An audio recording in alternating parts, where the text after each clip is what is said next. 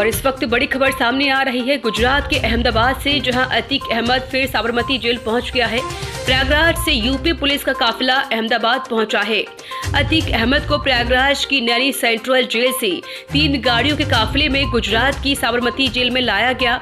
उमेश पाल अपहरण मामले में अतीक को उम्र कैद की सजा हुई है। अतीक अहमद को लेकर साबरमती जेल पहुँची है यूपी पुलिस।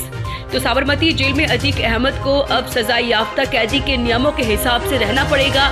जेल नियमों के मुताबिक वह अब मनमाफिक कपड़े भी नहीं पहन सकेगा। तो प्रयागराज के उमेश पाल अपहरण केस में उम्र कैद की सजा होने के बाद माफिया जॉन अतीक अहमद को फिर से साबरमती जेल पहुँचा दिया गया है।